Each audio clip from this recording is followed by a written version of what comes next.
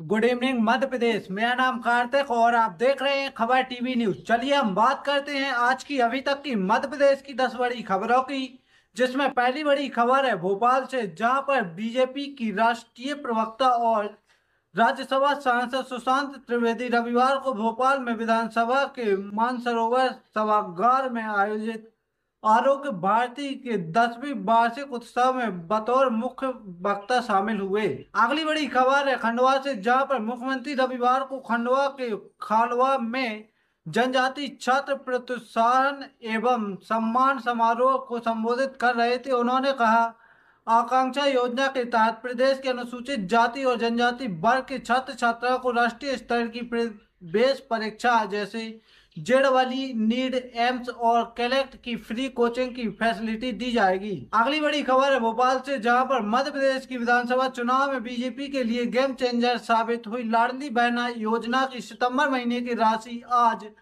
मुख्यमंत्री डॉक्टर मोहन यादव बीना से महिलाओं के खाते में ट्रांसफ़र करेंगे। इस दौरान मुख्यमंत्री सामाजिक सुरक्षा, पेंशन के हितग्राहियों के खाते में तीन सौ बत्तीस करोड़ रुपए भी ट्रांसफ़र करेंगे।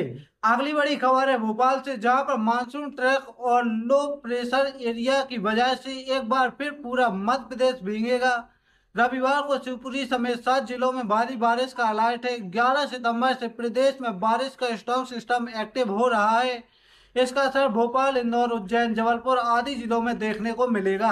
अगली बड़ी खबर है उज्जैन से, जहाँ पर विश्व प्रसिद्ध श्री महाकालेश्वर मंदिर में भगवान महाकाल के दर्शन को राष्ट्रपति द्रौपदी मुर्मू के 19 सितंबर को प्रस्तावित कार्यक्रम को देखते हुए जिला प्रशासन ने भी तैयारियाँ शुरू कर दी हैं। राष्ट्रपति श्री महाकाल लोक अवलोकन करते हुए भगवान महाकाल के दर्शन के लिए 19 सितंबर को उज्जैन पहुंचेंगी। अगली बड़ी खबर है, भोपाल से जहाँ पर भाजपा के प्रदेश अध्यक्ष वी शर्मा के लिए नपुंसक शब्द इस्तेमाल करने पर पूर्व सीएम दिग्विजय सिंह के खिलाफ भाजपा कार्यकर्ताओं ने पुलिस को शिकायत की है। भोपाल में रविवार शाम को भाजपा कार्यकर्ता क्राइम ब्रांच स्थान में पहुँचे और दिग्विजय सिंह के खिलाफ एफआईआर दर्ज करने की मांग करने लगे।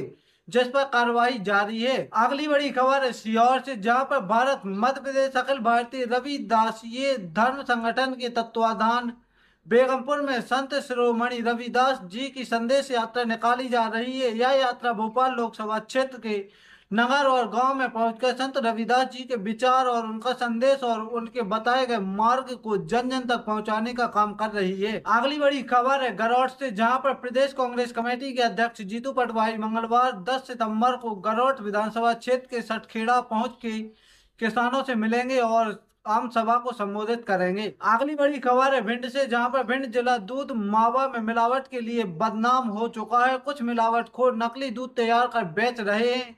जिससे ज़िले की साख पर बट्टा लग रहा है। अब खाद्य सुरक्षा विभाग शुद्ध दूध बेचने के लिए नवाचार करने जा रहा है। अब ज़िले भर के दूधियों को रजिस्ट्रेशन करवाना होगा। विभाग द्वारा उन्हें पहचान पत्र भी दिया जाएगा। अगली बड़ी खबर है भिंड से, जहाँ पर भिंड विधानसभा क्षेत्र के ग्राम पंचायत बिजपुर में जिला पंचायत सदस्य मिथिलेश नरेंद्र सिंह कुशवाहा निर्धारित कार्यक्रम के तहत ग्राम पंचायत बिजपुर में 10 लाख की लागत से बनने वाली मुक्तिधाम बाउंड्री बॉल का भूमि पूजन किया।